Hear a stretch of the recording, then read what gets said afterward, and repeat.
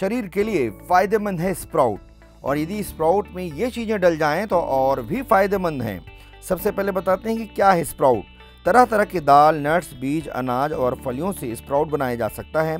चना, मूंग, दाल, जौ आदि चीज़ों को पानी में भिगोकर रात भर छोड़ दिया जाता है और दो से तीन दिनों तक इसे कपड़े में बांधकर रखा जाता है। ऐसा करने पर इसमें अंकुर आ जाते हैं। अंकुरित करने पर इसमें मौजूद न्यूट्रिएंट्स कई गुना बढ़ जाते हैं। स्प्राउट्स में स्टार्च की मात्रा कम होने की वजह से फैट नहीं बढ़ता, इसे लोग सलाद के रूप में खाना पसंद करते हैं। लेकिन हम जो आपको बताना चाहते हैं कि क्या क्या चीज़ें और डाली जा सकती हैं, जिससे आपको फ़ायदा मिले। जैसे कि हमने आपको पहले ही बताया है कि स्प्राउट बहुत गुणकारी है, इसलिए लोग इसे सुबह सुबह खाना पसंद करते हैं। यदि इसके गुणों की बात करें तो इसमें बहुत मात्रा में एंटीऑक्सीडेंट और विटामिन सी पाया जाता है, जो शरीर की कई बीमारियों को दूर करता है। स्प्राउट में protein, fibre, vitamin A, C, niacin, folate, manganese, copper, zinc, iron और कैल्शियम भी भरपूर मात्रा में पाए जाते हैं, जो एंजाइम के लिए बेहद ज़रूरी होते हैं। और मेटाबॉलिज्म बढ़ाने में अहम रोल अदा करते हैं। इन तमाम पोषक तत्वों की मदद से सेहत तो दुरुस्त रहता ही है, शरीर की रोग प्रतिरोधक क्षमता यानी इम्यूनिटी भी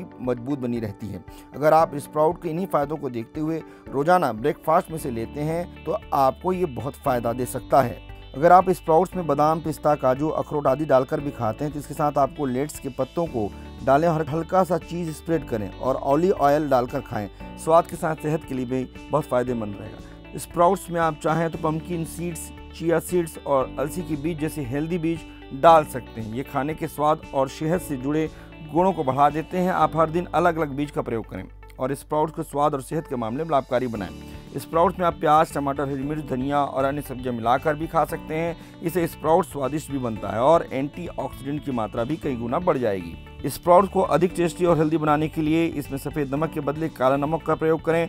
इसके अलावा इसमें भुना जीरा का पाउडर डालें और हल्का सा नींबू निचोड़ लें नींबू में विटामिन सी की मात्रा बहुत होती है, जो इसे अधिक हेल्दी बनाती इन चीज़ों को मिलाकर इसे बड़ों के साथ बच्चे भी खाते हैं और बड़े आनंद के साथ, चाव के साथ खाते हैं और शरीर के लिए भी ये लाभप्रद है। लेकिन आप जो भी नई चीज़ें अपने जीवन में उतारें तो किसी के परामर्श के साथ ही, किसी के दिशा निर्देश के साथ ही उतारें। धन्यवाद। आप स्वस्थ रहें, प्रसन्न रहें।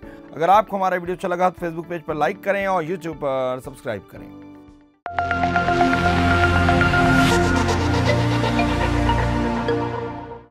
खबर भी, सरोकार भी। हर कदम, हर डगर, हर मोर्चे पर तैयार भी।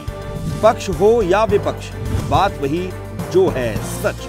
सही और दमदार भी गाँव कस्बा, शहर नगर, रुक न पाए कोई खबर। असर भी असरदार भी, खबर भी सरोकार भी। लल्लूराम डॉट कॉम, सच कहेंगे लल्लूराम।